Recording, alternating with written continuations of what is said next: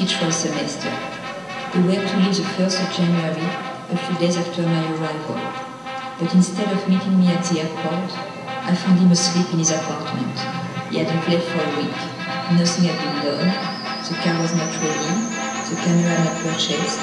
He had lost his driving license, not said goodbye to his friends, not cleaned the trunk. Any excuse would do. I he didn't want to leave anymore, but to protect my trip, I organized everything. Even if this is going to be a disaster, we'll go. I peacefully met a single very my friend Hervé Banzussi. I didn't want to wait in Paris for him to.